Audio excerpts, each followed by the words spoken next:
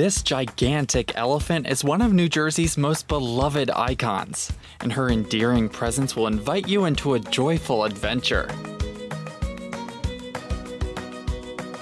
Towering 65 feet in the air along the Atlantic County coastline, Lucy the Elephant has stood the test of time for 140 years, earning the title of America's oldest roadside attraction. The 90 ton pachyderm welcomes visitors to start with a stroll around her polished exterior, which features colorful nails and an extravagant carriage. After appreciating Lucy's cheerful appearance, step up into her belly on a guided tour to become a part of her hallowed history.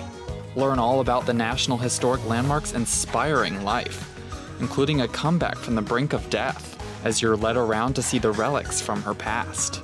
Once you're immersed in her story, only then will you truly understand why everyone loves Lucy.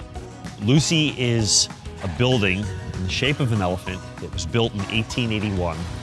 She's 140 years old this year, and she's a National Historic Landmark.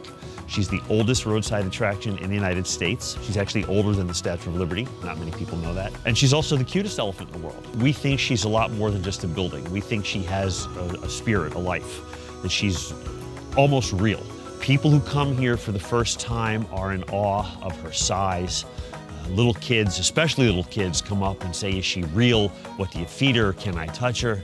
So, and that's the best part of this job. Of course, no tour is complete without a trip up to her howdah, which offers stunning views of the Jersey Shore.